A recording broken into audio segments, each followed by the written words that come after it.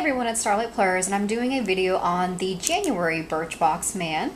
And it took me a while to figure out which month this is. My fiance has been receiving Birchbox for, I think, over a year now. So I've had to log into his account to do his points and everything and figure out which month this is, but I've got it now. It's January. So I'll go ahead and jump right in. Um, actually, I'll give out some information, but the Birchbox Man is $20 a month as opposed to $10 a month for females and it's just um, they generally receive a lot more like larger items I've noticed which I will get into some details. But I'll first start off with the first item that was in here and this is a freshness to go reviver and it's a dry deodorant for clothes. And it's basically just a cloth that you can use on clothes or on your hair as well and it just says slip on the wipe use the wipe on, clear, on clothes and hair and you can also store in this reusable pouch there's only one in here, I believe, and it just says eliminates odors for, on clothes from sweat, smoke, food, everything. So at first I thought this was a wipe for body, but it's actually for clothes. That's an interesting item.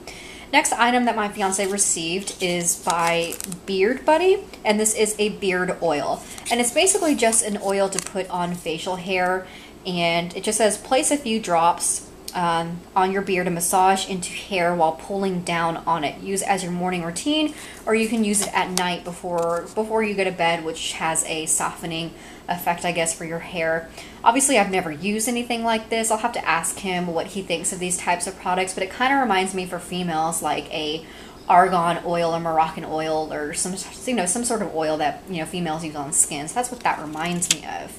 So next item that he received is by Billy Jealousy which I've noticed that this brand is included in a lot of the Birchbox Man subscriptions, and it's one that my fiance has actually enjoyed. So this I this month he actually received the Adrenaline Junkie Energizing Scrub with Peppermint Oil, which I imagine that would smell really great and refreshing.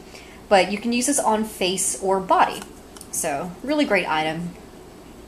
So the next one that he received is by May, it's Myron's Goods, and this is called Chap Stuff and you can use it for cheeks, lips, or anything that is chapped. It's paraben free and certified organic. This looks like a little mini deodorant, but it's basically like a solid Vaseline. And the last item he received was one of the larger items that the men's Birchboxes tend to receive each month. And this is by Free Hands and these are gloves and they have this really cool like dot texture on them and you basically can use them while you can wear the gloves and still be able to do touchscreen devices. So if you still want to swipe, you can still do that because the fingertips have a special um, texture to them. I'm not going to take them out of the packaging because this is his stuff and not mine.